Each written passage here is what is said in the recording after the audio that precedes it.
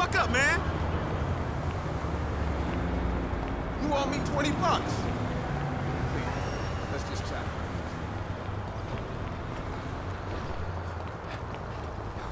I need a man so bad. Hell yeah.